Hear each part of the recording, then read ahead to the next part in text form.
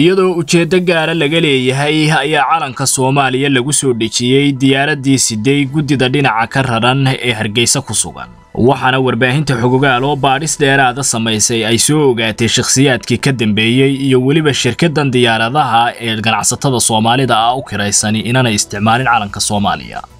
Warbixinteennan ayaynu daboolka kaga rogaynaa qorshahaas ujeeddadii laga lahaa iyo cidda dabada ka riixaysay guddida dhinaca ka raran ee aan kalsoonida ka haysan somalilan hase yeeshee ku sugan magaalada hargeysa ee caasimadda u ah.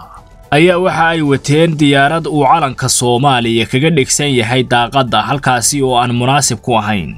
Meelihii diyaaradaha lagaga dhejin jiray waddanka leh ama ay astaantiisa qaadanayaan. Diyaaradda tan oo ingeydh u ahayd guddida tan ayaa muujinaysa in ujeeddo gaara laga lahaa markii lagu dhejinayay calanka dowladda federaalka ah ee soomaaliya ilowareedyada ayaa intaasi waxa ay ku darayaan inay arrintaasi soo qorsheeyeen madaxweynihii hore ee maxamed cabdulaahi farmaajo oo si weyn saamayn ugu lahaa siyaasadda gobolka sool. Iyo xulufadiisa oo uu kow ka yahay wasiirka arrimaha dibadda ee soomaaliya oo dhowaan uun waraaq ka soo horjeeda somalilan beesha caalamka u diray. Waxaana uu u dhashay oo deegaan ahaan ka soo jeedaa wasiirkani magaalada garoowe ee caasimadda maamul goboleedka puntland soomaaliya ujeeddada laga lahaa oo ah mid aan macno weyn samaynayn shacabka reer somalilan go'aankiisa iyo xorriyaddiisana waxba ka beddelayn ayaa aan sidii loo baahnaa u dhicinin waxaana ay uga jeedeen in diyaaradda lagu arko calanka soomaaliya kadibna ay somalilan dib u soo celiso. Oo diiddo inay ka soo degaan odayaasha dhinaca ka raran ee iyaga laftooda ay dabada ka riixayaan xulufada bariga sool qorshaha kan oo aanay waxba ka ogeyn xukuumadda uu garwadeenka ka yahay xasan sheekh maxamuud ayaa ujeedkii laga lahaa aan laga gaadhin shirkadda magaca hala airways qaadatay ee ka shaqaysa soomaaliya ayaan haba yaraatee calankeeda isticmaalin waana shirkad bareefad ah oo aanay dowladdu lahayn waxaana kuu caddaynaysa.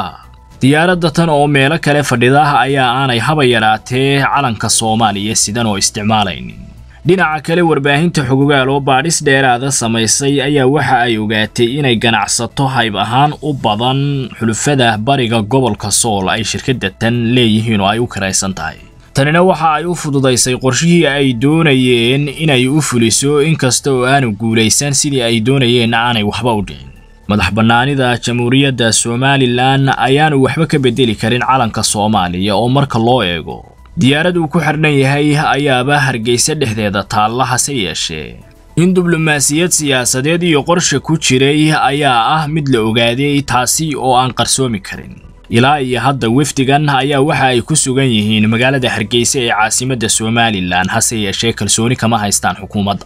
Ka farxi ehelkaaga asxaabtaada iyo qaraabadaada.